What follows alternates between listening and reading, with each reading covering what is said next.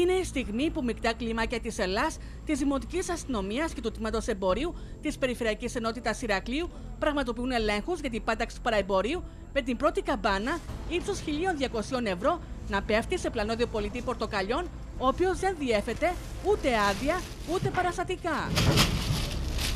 Πάνω από 300 κιλά πορτοκάλια κατασχέθηκαν και καταστράφηκαν με τον πολιτή να συλλαμβάνεται. Υπάρχει πρωτοβουλία από το Υπουργείο Ανάπτυξης. Οι συναρμόδιες υπηρεσίες ε, κινητοποιούνται για να αντιμετωπίσουν ε, αυτή τη μεγάλη μάστιγα ε, κατά της ελληνικής οικονομίας όπως είναι το παραεμπόριο. Τώρα που πλησιάζουμε και κάθε χρόνο το καταγγέλουμε σαν σωματείο παροπολών, κάθε χρόνο την παραποίηση και την, την πατάτα που την πουλούν στα μεσαρά στην Αιγυπτιακή, όπου να θα ξεκινήσει. Επειδή είναι με μαύρο χώμα οι πατάτες Αιγυπτιακές, τις πλένουν και μετά παίρνουν κοκκινόχωμα και όπως είναι βρεγμένες πατάτες το ρίχνουν πάνω και τις κάνουν μεσαρά.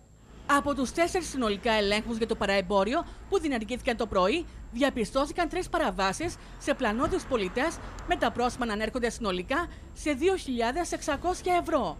Σε δύο περιπτώσεις κατασχέθηκαν πορτοκάλια με το πρόσημο να αγγίζει τα 1.200 ευρώ, ενώ η τρίτη περίπτωση αφορούσε οι ελοκαθαριστήρες αυτοκινήτων με το πρόσημο να ανέρχεται σε 200 ευρώ. Είναι μια μεγάλη πληγή.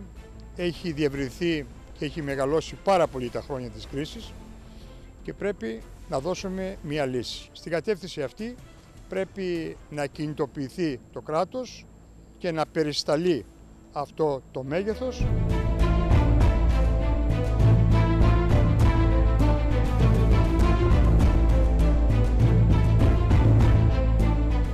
Στοχευμένους ελέγχους για το κάπνισμα διενήργησε κλιμάκιο ελέγχου αποτελούμενο από τη Δημοτική Αστυνομία και τη Διεύθυνση Δημόσιας Υγείας με τον τηλεοπτικό φακό να καταγράφει καρέ-καρέ την όλη διαδικασία. Οι πολίτες συμμορφώνονται, το ίδιο για τα καταστήματα.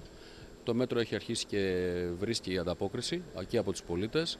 Ε, κάποια παρατράγουδα κάποιες στιγμές υπάρχουν. Μετά την εκστρατεία που έγινε από την κυβέρνηση για την αντιμετώπιση του φαινομένου, ε, υπάρχει μεγάλη συμμόρφωση όσον αφορά, ε, θα έλεγα, πειθαρχία και των καταστηματαρχών. Έχουν λύσει όλα τα προβλήματα και τσι χυμαράνει το κάπνισμα. Εγώ θυμάμαι τον παππού μου και πήγαινε στα καφενεία για να καπνίσει. Και δεν επάθαινε κανείς καρκίνο. Τώρα και το περιβάλλον μολύνομαι. Αν κάπνισε ένα άτομο ας πούμε, μπορεί να μην το πήραμε και μυρωδιά λόγω εργασίας. Έπρεπε να είχε προβλέψει ο νόμος αυτός για καταστήματα όπως αυτό που είναι τόσο μικρό και δεν έχει περιθώρια τραπεζοκαθισμάτων έξω ένα δικαίωμα επιλογής καπνιστών ή μη καπνιστών. Σωστό, εγώ το βλέπω σωστά.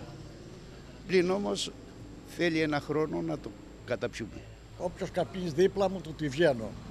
Δηλαδή του λέτε. Του λέω άκου να δεις αν καπνίζεις να βγεις στον δρόμο όξο. Έχω παρατηρήσει τώρα τελευταία και βγαίνουν όξο και καπνίζουν στην Ελβή. Για το, το κεφάλι μου. Καπνίζω για μέσα. Αν καπνίζετε μέσα και κάποιος κάνει, κάνει καταγγελία θα έχετε 100 ευρώ πρόστιμο. Πάντα στο σπίτι.